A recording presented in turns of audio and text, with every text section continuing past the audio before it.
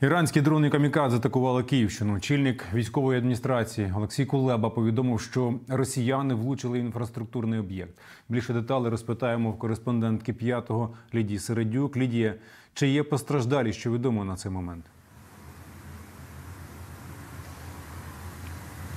Власне, найголовніше те, що постраждалих за, да- за даними чільника Макарівської громади і чільника Київської військової адміністрації немає. Ми зараз саме перебуваємо в Макарівській громаді, де зафіксовано влучання голова Макарівської громади. Вадим Токар повідомив, що дрони камікадзе атакували інфраструктурний об'єкт. І після цього здійнялася пожежа. Він повідомив, що відбулися три атаки саме дронами камікадзе. І також у своєму телеграм-каналі він оприлюднив відео влучання. Я пропоную подивитися, як це було.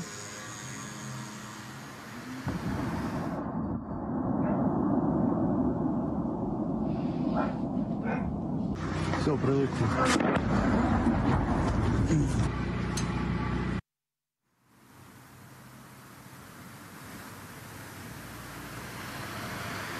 Власне, після цих е, трьох влучань здійнялася пожежа, і голова Київської обласної військової адміністрації Олексій Колеба повідомив, що 43 рятувальники працювали над тим, аби локалізувати і ліквідувати пожежу.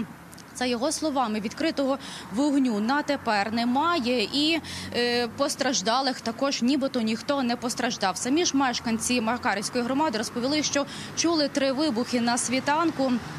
Е, І потім власне пролунала е, пролунав сигнал повітряної тривоги. Що вони нам розповіли? Давайте слухати. 5, тут 5-6 утра в районе. Ну, по- пожар, пожарные машины уехали сразу же. Да, без щось п'ять було там. Перший вибух, а потім сирена і знову вибухи почались.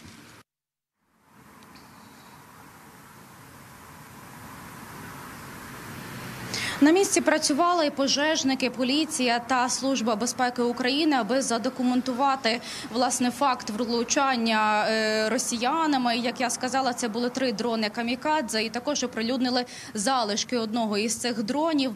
На тепер е, ситуація контрольована. Ми не побачили відкритого горіння, тож е, ніяких жертв, за словами чільника і Макарівської громади Київської обласної військової адміністрації, немає. Я зазначу, що Ще на початку вторгнення Макарівська громада зазнала численних руйнувань через те, що окупанти, які намагалися наступати на Київ, вони е, не могли е, протиснутися. І тут е, були бої на околицях Києва. Тож зараз тут люди повертаються до мирного життя. Утім, росіяни не дають спокою і час від часу ось здійснюють подібні атаки саме дронами камікадзе, які вони. Закупили в Ірану. Утім, на тепер ситуація тут спокійна. Тож, як я зазначила, постраждалих немає. Така от інформація, Віталію.